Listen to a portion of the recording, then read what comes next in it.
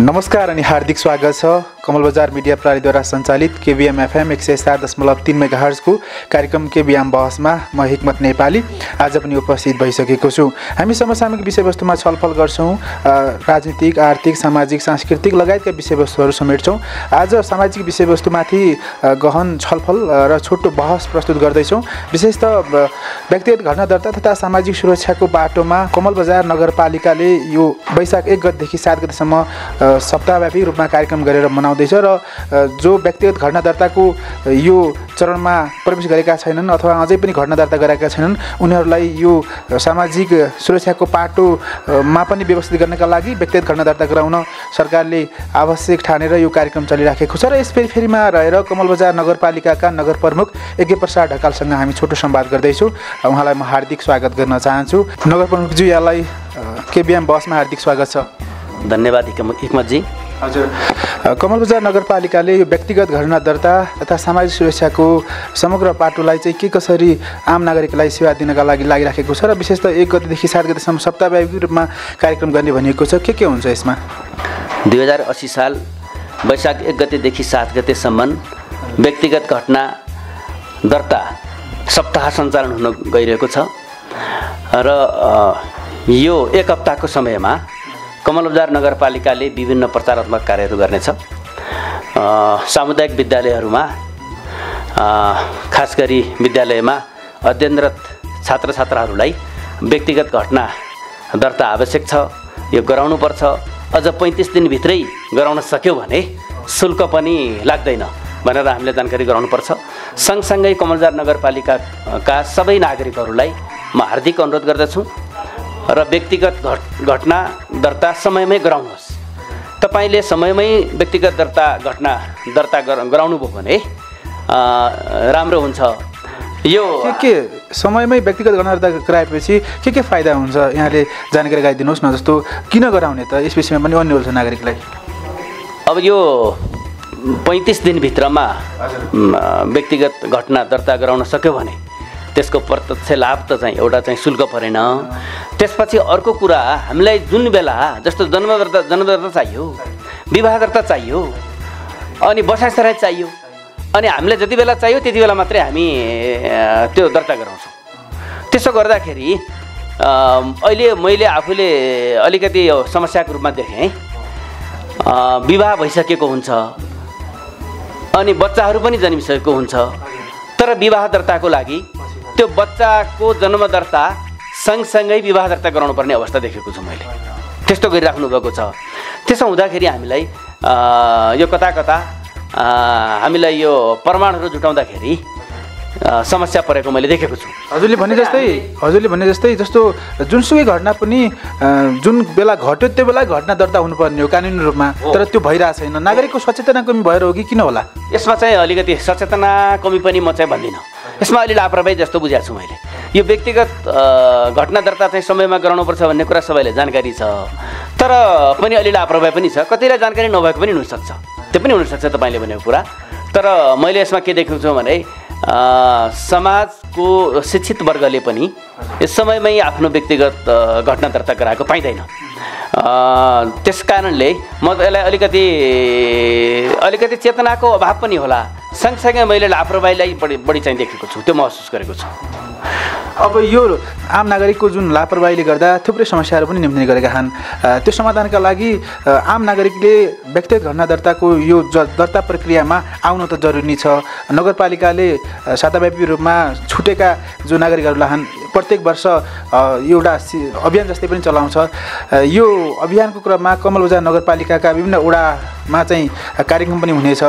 त्यहाँ आम नागरिकलाई के सन्देश प्रवाह गर्न चाहनुहुन्छ तपाईँ? यो एक हप्ता हामी यो व्यक्तिगत घटना दर्ता सप्ताह भनेर हामीले एक गतेदेखि सात गतेसम्म गर्न गइरहेका छौँ। यतिले मात्रै पुग्दैन। हामीले यो हामीसँग वाडामा पनि व्यक्तिगत घटना दर्ता गर्ने यो पञ्जिका अधिकारी अ, हुन्छ। अनि उहाँहरूसँग पनि यो पञ्जीकरण विभागले पनि बेला बेलामा सूचना गरिरहेकै हुन्छ आफ्नो किसिमले। र हाम्रो कार्यालयहरू वार्ड सचिवहरूले पनि यो व्यक्तिगत घटना समयमै गराउनुपर्छ है। तपाईँहरू गराउनुहोस् भनिराख्नु भएको छ। र अब हाम्रा नागरिकहरूलाई म हार्दिक अनुरोध गर्दछु खास गरी कमलजार नगरपालिकाका नागरिकहरूलाई। तपाईँहरू यो विषयमा अलिकति सजग हुनुहोस्। समयमै व्यक्तिगत घटना दर्ता गराउनुहोस्। र पछि हामीलाई यो जस्तो छोराछोरीहरूको विषयमा प्रमाणहरू जुटाउने बेलामा त्यही बेलामा हामीलाई सबै कुरा जुट्न जुटाउन अलिक कठिनाइ हुन्छ। मैले अघि पनि भने विवाह दर्ता बच्चा जन्मिसकेपछि बच्चाको जन्मदर्ता गराउने बेलामा विवाह दर्ता गराउने सँगसँगै गराउने यो परम्परा छ। यसको हामीले अन्त्य गर्नुपर्छ र विवाह भएको पैँतिस दिनभित्रमै विवाह दर्ता गराइसक्नुपर्छ। त्यो पनि दुलहा दुलही दुइटै उपस्थित हुनुपर्छ। केटाकेटी दुइटै उपस्थित भएर गराउनुपर्छ। मैले अहिले के देखिरहेको छु भने यो विवाह दर्ता गराउँदाखेरि सँगै आइरहेको अवस्था देखेको छैन। सँगै आउनुपर्छ। सम्बन्धित व्यक्तिहरू सँगै आएर दर्ता गराउनुपर्छ। त्यसो भयो भने राम्रो हुन्छ। त्यो अलिक पारदर्शी पनि हुन्छ। मैले अलिकति समस्या देखेको छु। यो व्यक्तिगत घटना दर्ता गराउने विषयभन्दा पनि यो सन्दर्भभन्दा पनि जस्तो नागरिकता कतिले आफूले प्राप्त गर्नुहुन्छ। नागरिकता जारी भइसकेपछि सम्बन्धित व्यक्तिले आफ्नो नागरिकता जिल्ला प्रशासन कार्यालयमै राम्ररी हेऱ्यो भने त्यसमा कतिपय कुराहरूमा मातापिताको नाम पनि फरक परेको हुनसक्छ जन्ममिति फरक परेको हुनसक्छ शैक्षिक योग्यताको प्रमाणपत्रसँग जन्ममिति नमिल जन्ममिति नमिलेको अवस्था हुन्छ। त्यही बेलामा जानकारी भयो भने तत्कालै त्यो जारी गर्ने अधिकारीले नागरिकता त्यो नागरिकतालाई बदर गरेर अर्को नागरिकता दिन सक्नुहुन्छ। तर अब दस वर्ष बिस वर्षपछि उमेर फरक परेको मेरो चाहिँ उमेर चाहिँ जन्ममिति मिलेन भनेर जिल्ला प्रशासनमा हाम्रो नागरिकहरू जानुहुन्छ। र सम्बन्धित व्यक्ति जानुहुन्छ त्यो बेलामा सच्याउन नसकिने अवस्था हुँदो रहेछ। त्यसैले आफ्ना प्रमाणहरू व्यक्तिगत यो घटना घटेका जुन यो जन्मदर्तादेखि लिएर अरू जे जस्ता प्रमाणहरू हुन्छन् त्यो समयमै चाहिँ हेर्नुपर्छ। त्यो सँगसँगै अरू पनि हाम्रा प्रमाणपत्रहरू जस्तो जग्गा धनी प्रमाणपत्र कतिको नाम फरक परेको छ। नागरिकतामा एउटा नाम हुन्छ जग्गा धनी प्रमाणपत्रमा अर्कै नाम हुन्छ। त्यसैले यो फरक नाम पर्ने जन्ममिति फरक पर्ने यो कुरा कुराले अलिकति यो दुःख पाइरहेको अवस्था छ। यसमा सजग हुनुपर्छ। हामी सबै नागरिकहरू सजग हुनुपर्छ। जनप्रतिनिधिले पनि यो कुरा बताउनुपर्छ। यो सँगसँगै अरू नागरिक समाजका प्रबुद्ध वर्गहरूले पनि यसमा सहयोग गर्नुपर्छ। अब यो आम नागरिकलाई सचेतना फैलाउनका लागि होस् अथवा यी सानातिना समस्याहरू जो व्यक्तिगत घटना दर्तामा त्रुटिहरू नहुन् भन्नका लागि आगामी दिनमा पालिकाले के के गर्नेछ त? व्यक्तिगत घटना दर्ता समयमै गराउनुपर्छ भनेर हामी यो विषयमा सचेतना अभियान चलाउनेछौँ। सामुदायिक विद्यालयमा पनि हामी जानेछौँ र जनप्रतिनिधि हाम्रो कर्मचारीहरू जानुहुनेछ।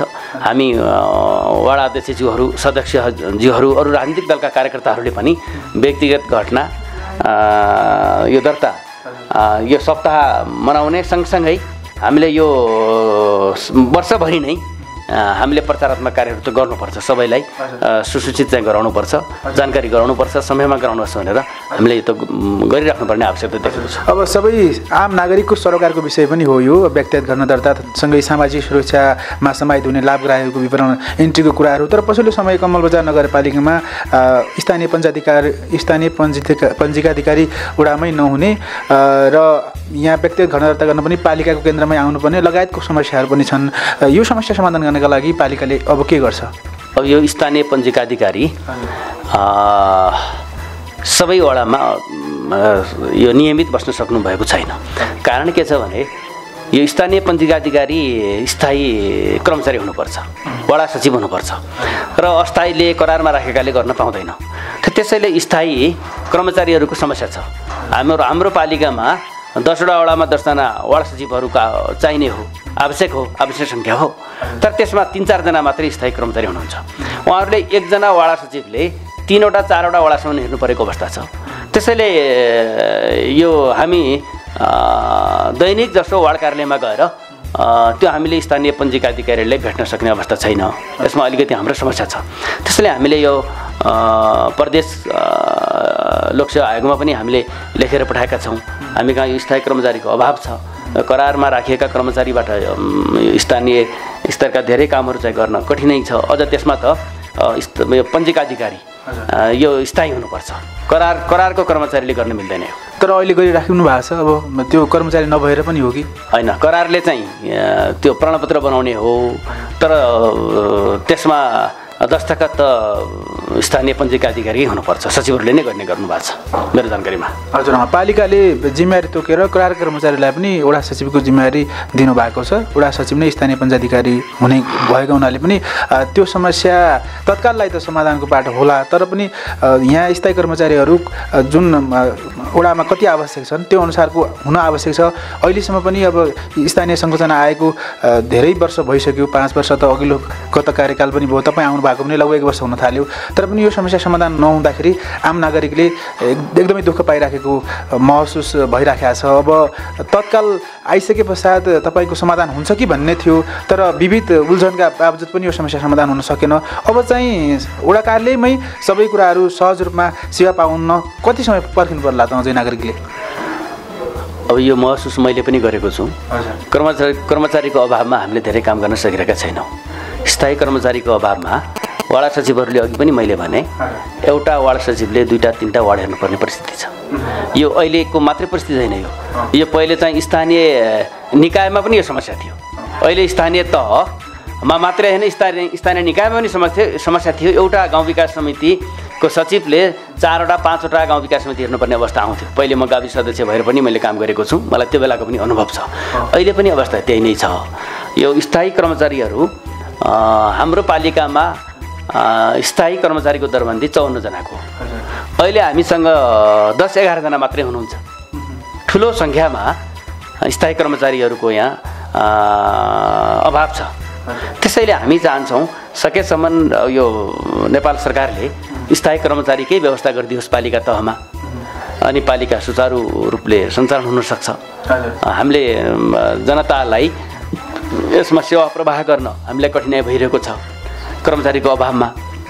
त्यसैले अहिले हामीले हामीसँगै भएकै जुन जनशक्ति छ यही जनशक्तिले हामीले परिचालन गरेर काम गरिरहेका छौँ। यसमा हिक्मत चाहिँ हामीलाई महसुस गरेका छौँ।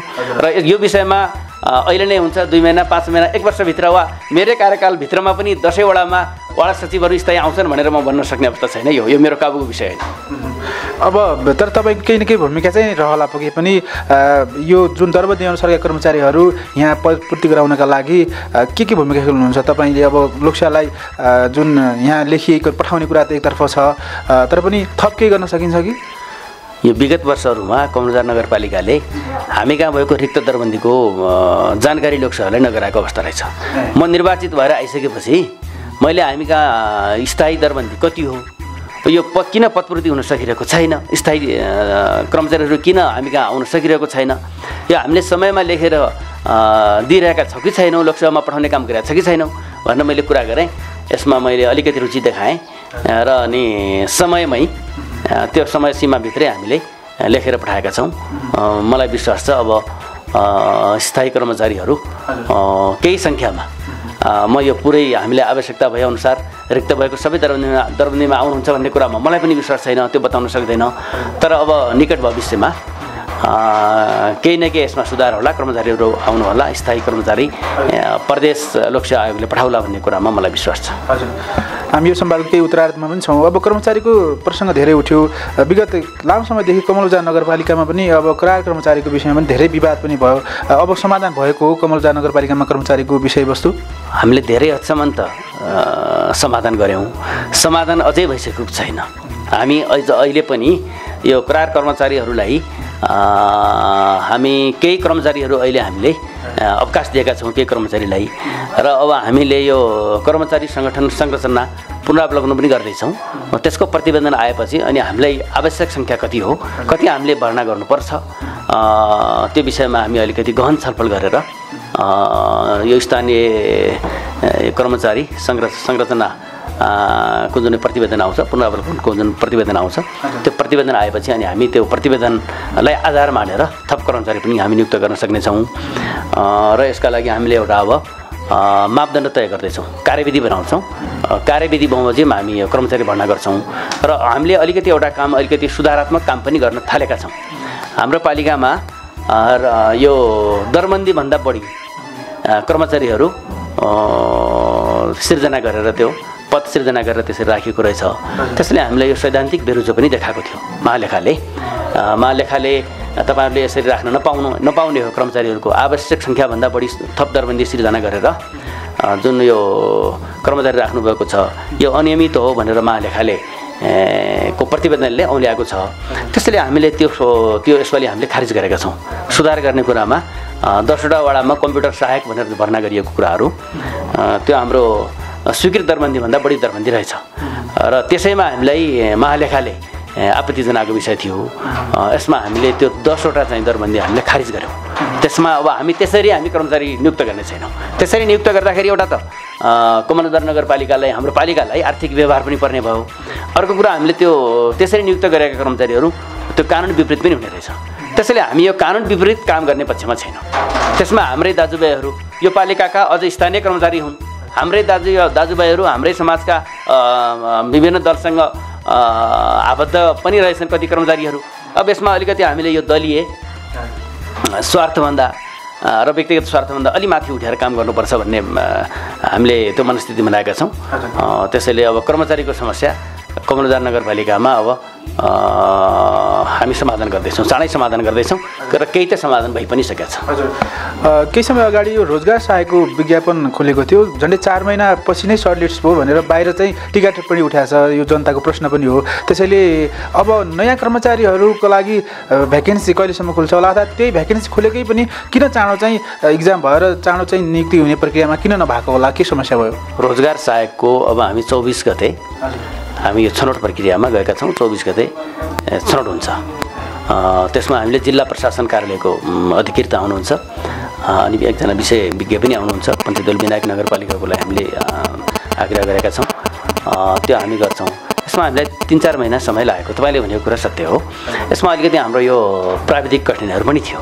हामीले कर्मचारीहरूकै विषयमा पनि यो करारमा राखेका कर्मचारीहरूलाई यथावत राख्ने वा हटाउने भन्ने विषयमा विवाद थियो। त्यसले पनि अलिकति हामीलाई यो असहज भएको थियो। सँगसँगै अरू कुराहरू पनि थिए हाम्रा। हामीले अति आवश्यक कामहरूलाई बढी ध्यान दियौँ। यो कर्मचारी नियुक्त गर्ने कुरामा तपाईँले भन्नुभएको कुरा म स्वीकार स्वीकार गर्दछु। हामीले करिब करिब यो रोजगार सहायकको छनौटको प्रक्रिया हामीले हामीले सूचना सार्वजनिक गरेको करिब एक महिनाभित्र त सक्नै पर्थ्यो। त्यसमा अझ दुई महिना बढी समय लागेको छ। तर अब जे जस्तो भए पनि अब हामी यो गर्दैछौँ। छिटै यसको हामी छनौट प्रक्रिया पुरा गर्छौँ। र चौ चौबिस गते हामीले राखेका छौँ। हजुर। अब कर्मचारी यहाँ पदपूर्ति भइसकेपछि विभिन्न कामहरू सहज रूपमा अगाडि बढ्लान् त्यो अपेक्षा गरौँ। हामी संवादको अन्तिममा पनि छौँ। हामीले खासमा आज व्यक्तिगत घटना दर्ता तथा सामाजिक सुरक्षाको बाटोमा पालिकाका गतिविधिहरूलाई केही प्रस्तुत गर्न खोजेका थियौँ। अब व्यक्तिगत घटना दर्ताका बाटो त अलि अगाडि हामीले कुराहरू उठायौँ। यो सामाजिक सुरक्षा लाभग्राहीहरूमा समाहित हुने लाभग्राहीहरूको विषय र सहज रूपमा ब्याङ्किङ प्रणालीमा गइसके पश्चात पनि केही दुविधा पनि भयो। ब्याङ्क पनि एउटै हुँदाखेरि निकै नै दुःख पाइराखेका छन् आम नागरिकले सहज रूपमा लिन पाइरहेन भन्ने गुनासो पनि छ बाहिर। पालिकाले अब ब्याङ्क थप्ने योजनामा गइरहेछ कि अथवा यहीँ भए पनि अलि सहज रूपमा त्यो सामाजिक सुरक्षा लाभग्राही अथवा त्यो भत्ता लिनका लागि के के गर्ला अब पालिकाले? यो गतिविधि पनि आम जनताको प्रश्न हो। बैङ्क एउटै छ। सेवाग्राहीले सुविधा पाउन सकिरहेका छैनन्। त्यो हामीले महसुस गरेका छौँ। र हामीले सामाजिक सुरक्षाको यो रकम वितरण गर्नको लागि बैङ्कलाई पटक पटक आग्रह गऱ्यौँ र तपाईँले वार्डमै गएर वितरण गरिदिनुहोस् पनि भन्यौँ हामीले। अलिकति उहाँले समस्या के देखाउनु भयो भने वार्डमा जाँदाखेरि सेवाग्राहीहरू पनि नआइदिने जस्तो उहाँले एक दुईवटा वार्डमा गएको यो प्रभु बैङ्कको कर्मचारीले म्यानेजरले मसँग कुरा गर्नुभयो। र हामी चाहिँ वार्डमा गयौँ तर त्यो दिन चाहिँ सेवाग्राहीहरू कोही पनि आइदिनु भएन। एकजना दुईजना पनि आउनु भएन। त्यसैले हामी एउटै वडामा घर घरमा गएर त हामी सेवा दिन सक्दैनौँ।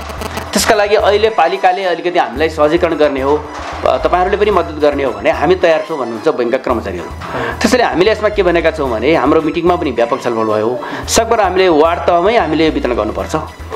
यो ज्येष्ठ नागरिकहरू अझ सत्तरी वर्षभन्दा माथिका वृद्ध वृद्धाहरूलाई कमलजार नगरपालिका धेरै टाढाबाट आउनुपर्छ। जस्तो भैलाबाट आउनुपर्छ। उता यो फल्टाने हुम हुम्कु ध्यानेवस्थादेखि आउनुपर्छ। अनि आएर पनि यो भत्ता प्राप्त हुन नसकेर गएको अवस्था चाहिँ छ। मैले पनि अलिकति यो सुनेको छु। यो चाहिँ दुःख भएको छ नागरिकहरूलाई। अब हामी यसपछिको हाम्रो कार्यपालिका मिटिङमा एकपटक हामीले व्यापक छलफल गरेका थियौँ यस विषयमा। र अब हामीले यो बैङ्कलाई हामीले पनि सहयोग गर्नुपर्छ। मैले वडा दिदीहरूलाई पनि भने तपाईँहरूले पनि सहयोग गर्नु पऱ्यो वार्ड सदस्यहरूले सहयोग गर्नु पऱ्यो हाम्रो कर्मचारीहरू बैङ्कको कर्मचारी गएर एक दिन दुई दिन एउटा वार्डमा होला। तर अब हप्ता दिन त बस्न सक्दैन। सातै दिन त वार्डमा जान सक्दैन नि त। त्यो त्यसका लागि हामीले दुई दिनसम्म राख्न सक्छौँ एउटा वार्डमा। र त्यसैले त्यो टोलका ज्येष्ठ नागरिकहरू वा यो सम्बन्धित सामाजिक सुरक्षाको भत्ता प्राप्त गर्ने व्यक्तिहरूलाई हामीले एक ठाउँमा जम उपस्थित गराइदिने र बैङ्कको कर्मचारी गएर वितरण गर्न सक्ने वितरण गर्न सक्ने अवस्था छ। त्यसका लागि हाम्रो पनि सहयोगको आवश्यकता छ। पालिकामा हामी जनप्रतिनिधि पनि प्रयत्न गर्नुपर्छ यसका लागि। बैङ्कसँग हामीले मिलेरै काम गर्नुपर्छ। अर्को बैङ्क आउन सक्ने अवस्था छैन। र हामीले कृषि विकास बैङ्कको शाखा थियो पहिले हामी कहाँ कमरबजारमा त्यो द्वन्द्वकालमा विस्थापित भयो। त्यो अहिले शाखा पुनर्स्थापित गर्नको लागि हामीले प्रयत्न गरेका छौँ। नगरपालिकाले निर्णय पनि गरेको छ। हामी प्रयास गरिरहेका छौँ। कृषि विकास बैङ्कको शाखा कार्यालय अ, गराउनको लागि हामीले पालिकाबाट निर्णय पनि गरेका छ। अब हामी काठमाडौँ गएर सम्बन्धित निकायमा गएर हामी डेलिगेसनै हाम्रो मान्य पुष्पहार शाहसँग पनि मैले अस्ति व्यक्तिगत रूपमा कुरा गरेको थिएँ। त्यस्तै पूर्व सांसदहरू र पार्टीका नेताहरू हामी सबै अब यो समूहमै गएर व्यक्तिगत एक्लै एक्लै मात्रै प्रयत्नले हुँदैन। सबै हामी यो डेलिगेसनको रूपमा गएर सम्बन्धित निकायमा हामी सम्बन्धित निकायको ध्यान आकर्षण गराउँछौँ। सकेसम्म हामी कृषि विकास बैङ्कको शाखा पुनर्स्थापना गर्ने पक्षमा छौँ। हजुर गत सरकारले चाहिँ वाणिज्य बैङ्कको स्थापनाका लागि पनि पत्र गरेको भनिन्थ्यो त्यो चाहिँ के कति सम्भावना छ वाणिज्य बैङ्कको शाखा? सम्भावना छैन अहिले। अहिले यो आर्थिक तरलता छ। बैङ्कहरूले आफ्नो कर्मचारीहरूलाई अहिले तलब खुवाउन सक्ने अवस्था छैन अरे। मैले कुरा गरेको छु। बैङ्कमा पनि अरू अरू प्राइभेट बैङ्कसँग पनि मैले कुरा गरेँ। यो कमलदार नगरपालिकामा अर्को एउटा शाखाको लागि कुरा गरेको त्यो चाहिँ अहिले सम्भावना छैन। हामीले सम्भावना नहुने कुरातिर लाग्नु पनि हुँदैन। त्यसैले एउटा बैङ्कले जस्तो अब बैङ्कको पनि आफ्नो बिजनेस हो। एउटा बैङ्कले अहिले ठिकै छ सेवा दिइरहेकै छ। तर अहिले अर्को बैङ्क आएर उसको आफ्नो आफ्नो बिजनेस भएन भने त बैङ्क आउँदैन नि। कि त सरकारी बैङ्क हुनु पऱ्यो कृषि व्यापार बैङ्क जस्तो वा राष्ट्रिय वाणिज्य बैङ्कको त्यो अर्ध अर्ध सरकारी बैङ्क हो। त्यस्तो बैङ्कहरू आइदिए हुन्थ्यो। त्यो चाहिँ अहिले सम्भावना मैले कम देखाएको छु। त्यसैले मैले यो कृषि विकास बैङ्कको शाखा कार्यालय स्थापनामा जोड दिइरहेका छौँ। हामीले कोसिस गरिरहेका छौँ। त्यो पनि निश्चित रूपमा यो पुनर्स्थापित हुन्छ कृषि विकास बैङ्कको शाखा आउँछ भन्ने कुरामा म अहिले चाहिँ भन्न सक्ने अवस्था छैन। हामी प्रयत्न गर्छौँ कोसिस गर्छौँ। सम्भव छ। कोसिस गर्छौँ। द्वन्द्वकाल अवस्थामा जुन भत्किएको संरचनाहरू अथवा विस्थापित भएको संरचनाको प्रसङ्ग आइहाल्दा आम नागरिकले यो खाद्य संस्थानको डिपो पनि थियो पहिले। यो चाहिँ हुन्छ कि हुँदैन होला भन्ने चासो पनि राख्नु होला। खाद्य संस्थानको लागि पनि हामीले प्रयत्न गरेका छौँ। खाद्य संस्थानको डिपोको लागि हामीले प्रयास गरेका छौँ। हाम्रो खाद्यको खाद्य संस्थानको यहाँ घर पनि छ जग्गा पनि छ संरचना छ भौतिक संरचना छ। तर अहिले हामीले यो अ, मङ्गलसेनबाटै कमलजार नगरपालिकाको खाद्य संस्थाको खाद्यको डिपो चाहिँ मङ्गलसेनमै छ अहिले। त्यसलाई पनि हामीले ल्याउनुको लागि निर्णय गरेका छौँ। प्रयास गर्छौँ हामी। हजुर। कोसिस गर्छौँ। हजुर। हामी यो छोटो संवादको अन्तिमतिर छौँ मेयर साहब।